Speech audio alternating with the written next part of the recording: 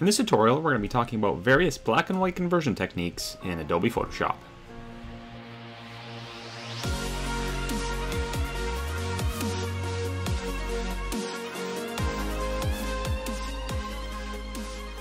Hey guys, Mike here. You can find me on Instagram at VibrantShotPhoto as well as online at VibrantShot.com.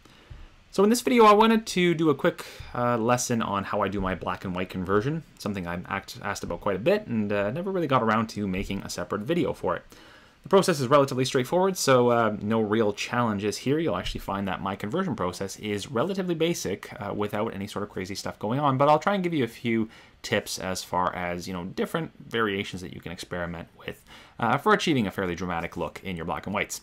Before we get started, uh, shameless plug, just want to let you know I do have a new hair retouching course, so if you're struggling with hair retouching at all, be sure to check that out. I'm going to pop the link up for it here as well as in the description below.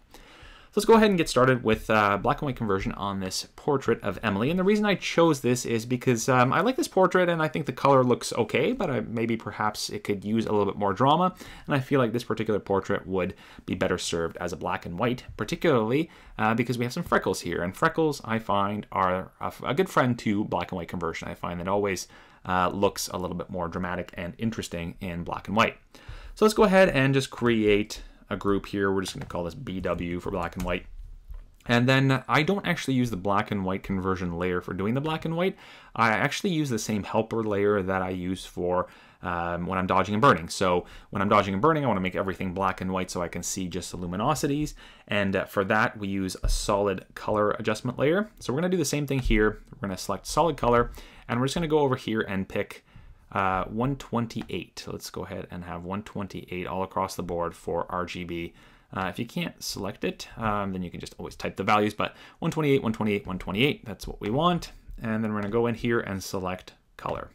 So as you can see, that's gonna kind of give us a black and white version without any real messing about of uh, colors, like the black and white adjustment layer does. Uh, essentially, when you pop up the black and white adjustment layer, it sort of says, you know, how bright do you want the reds, how bright do you want the yellows, blues, and so on and so on. This just kind of does a straight flattening of the colors and gives you a black and white representation of that image. So the, that's going to serve as our, our main conversion tool for getting a black and white. And so any adjustments we do beyond that, we want to make sure they drop below this uh, adjustment layer because if you put anything Above it, there is no color. So let's say we want to kind of put in a black and white adjustment layer now. If we start messing about with these values, you're going to see that there's no effect whatsoever. But as soon as we drop it below the color fill, then the effect pops up. So uh, that is just something to keep in mind. Always have all of your adjustments below it. Certain ones, obviously, that operate on luminosity as opposed to colors, it doesn't matter. You can put them above, but it's just good practice to always put everything below so you don't ever have to think about it or worry about it. So the first thing I'm going to start with is a curves adjustment. That is kind of the first place I always go when I'm doing a black and white adjustment or a black and white conversion. Uh, usually, I would say 75% of the time, my black and white conversion boils down to this color neutralizer and uh, a curves adjustment. And that's really the only thing that I do. Sometimes I want something a little bit more dramatic, and in this particular case, that is one of those scenarios where I do want something more dramatic. Uh, but we'll start with the curves adjustment. So we're going to just kind of bring this down a little bit. And we can see already that it looks a little bit better. I think the skin was a little too bright uh, before. we're just going to turn that down a little bit. Now, obviously, I've affected the shadows as well here, which I don't really want to do, so I'm going to use the blend if to just kind of get rid of that in the shadows. So as we drag this, we can kind of see where uh, the effect is being taken out of. And all this is really saying is that don't apply this curves adjustment anywhere where the luminosity is darker than this line. So anything in here is not going to be affected by it. Now, obviously, you can see that there are some areas that are just like straight cut off, and that doesn't look good. There's no kind of feather or transition. So for that, we're just going to hold down the Option or Alt key, and we're just going to split these bars over here and just kind of create a little bit of a feather for that transition. And if we hit Command Z, we can kind of see what that does. Uh, and if you know if we went too far or didn't go far enough, we can always go back and revisit that. Perhaps we did go a little bit too far. So I'm going to just kind of nudge this back here and bring that back there.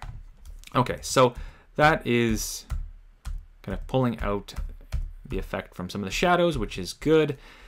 And um, I think, you know, for many cases that would be more than sufficient. Sometimes what I'll also do is throw in a selective color adjustment layer. So I'll go into here, drop that below the curve, And perhaps I want to add a little bit more contrast in the highlight areas. So I'll select whites and then kind of bring the black point down here. And again, with black and white, you can be a little bit more dramatic with some of this stuff. You can really kind of push it a bit more than you can within a color version of the image. So I think somewhere, you know, around minus two or minus three is fine. And then going into blacks, I might say, you know what, it's still a little too contrasty in the shadow. So let's just maybe bring this down one just to kind of wash it a little bit so it's not quite so contrasty. Again, it's really your choice. If you like the contrast, then leave it alone. Everybody's tastes are different. So let's just kind of toggle that on and off, and that's just all that's really doing. And again, of course, we can adjust opacities in any of these cases. Now, one thing that I find is always a good thing to check is let's turn off our black and white here and let's go into our channels and uh, take a look at the blue channel. Sometimes the blue channel I find looks a little bit interesting and that's sort of an indicator that maybe we want to play around with the channel mixer a bit. And uh, in this case we do. So I'm going to go ahead and re-enable all of these channels, and then go ahead and turn the black and white grouping on again. And for now, I'm going to disable uh, the curves adjustment and the selective color. So let's go ahead and in our adjustment layers here, we'll select channel mixer. There you are. And uh, in the presets, we'll go to black and white with blue filter. So there it is. As you can see, that's going to give us something that is a lot more dramatic and kind of toggling that on and off. I think that looks pretty cool. But again, you know, it's per perhaps adversely affecting a few different areas. So what I want to go ahead and do is once again apply a bit of blend if to that. So maybe we'll cut off some of the deepest shadows here and just kind of transition that a little bit there. Just so that it it's not affecting the shadows too much. And let's go ahead and see whether we like that effect. Hmm, perhaps in this case we're actually we're actually better off without the blend if I think. Unlike in the curve the shadows actually probably had a little bit of blue to them. And in that particular scenario the the shadow areas are actually brighter than they would be uh, if we took out this channel mixer. So basically what the black and white filter is doing with the blue channel is it's saying you know emphasize anything that's not blue, like make it kind of darker, and anything that is blue is going to be a little bit lighter. For example, I'll, I'll give you a demonstration of that. If we go into selective color now, and we go into blacks, and I take out yellows, you can see that the it's really kind of washing out the image because what we're doing is we're injecting a bunch of blue into there. Let's turn that off. You can see there's a ton of blue, and the channel mixer is kind of offsetting that because we're, we're sort of brightening everything that's blue and darkening everything else. So in this particular scenario, by adding the blend if to the channel mixer, we're saying don't apply it in the shadows. The shadows had some blue, so the shadows are actually getting darker instead of lighter. Kind of confusing, but it's important to understand how that channel mixer works. And of course, you can experiment with some of the other uh, channel mixer modes that we have in here. So if I just double click this, you can see the presets. There's, um, you know, orange filters, green filters, red filters, and so on. Feel free to experiment with those. Now, what I tend to do with the channel mixer is I never really use it at 100%. If we turn off this color fill, you can see right now it's still black and white, right? So this, this color neutralizer, let's just call this um, color remover, just so that we know. Um, if we have that turned off right now, there's no real difference between having it on and off. But however, because I want to bring down the opacity of the channel mixer, it's going to start to become important because if I bring this down to, let's say, 70%, now we have a partially colored up image. And um, if you really like this like crazy desaturated look, then that can be a look as well. But for me, I want an actual black and white. So as soon as I turn that back on, we're back to a black and white with this partially applied channel mixer effect added to it.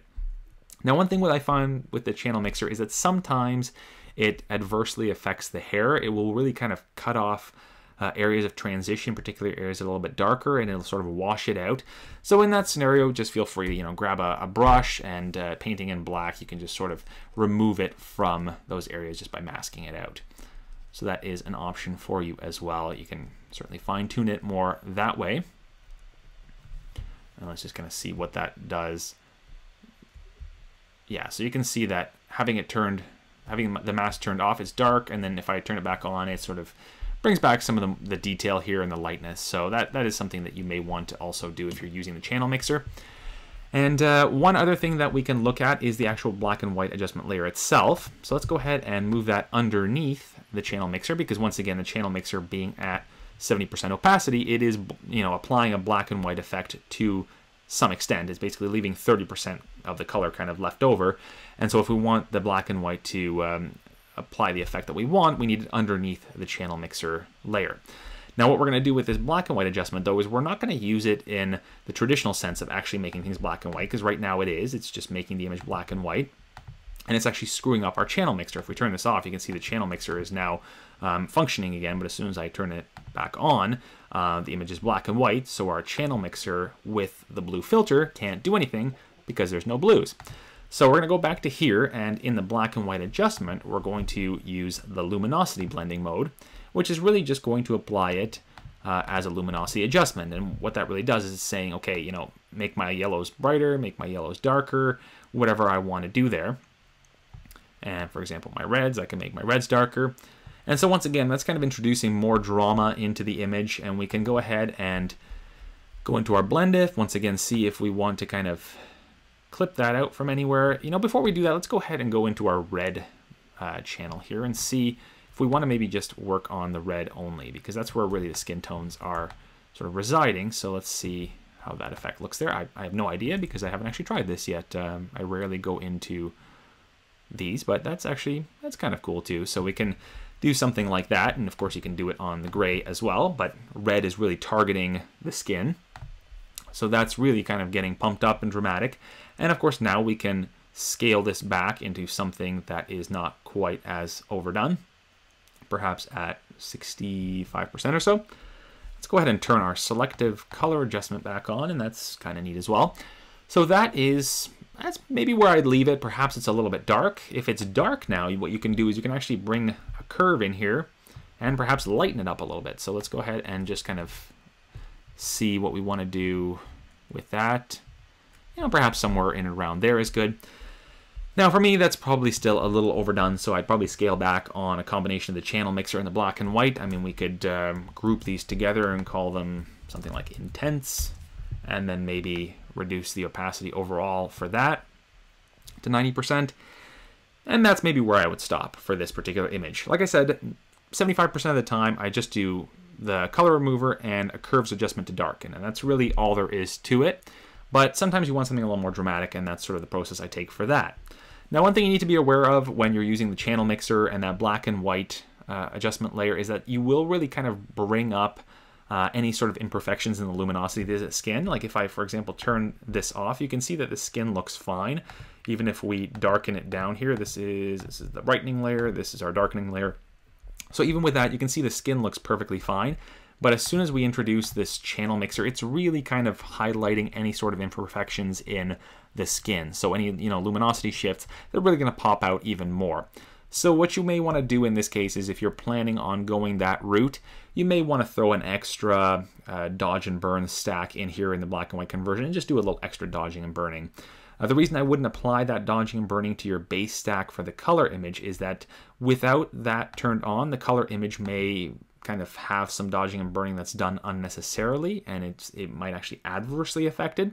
So that dodging and burning should be specific to just your black and white conversion with this channel mixer applied. I wouldn't do it on your kind of base dodge and burn stack. So that's just kind of a little tip there. Uh, if you want something that just looks a little more raw, you don't have to do the extra dodging and burning. I'm just kind of mentioning it to you that, you know, juicing up the image that way really just brings out even more and more uh, shifts in luminosities within the skin. So it's, it's something you may need to address. So that's really all I wanted to cover here. Those are kind of the main things that I use, any sort of combination of those different techniques. Uh, feel free to sort of experiment with them and see what you like, what looks good for you. Every image will vary. If it's high key, low key, uh, it will kind of, you know, dictate what you use. But feel free to experiment with all of those in different combinations and see what you like. So hopefully you found that helpful. If you like this video, make sure you give me a thumbs up below. And if you love the video, make sure that you hit subscribe so that you get future video updates just like this one. Bye for now.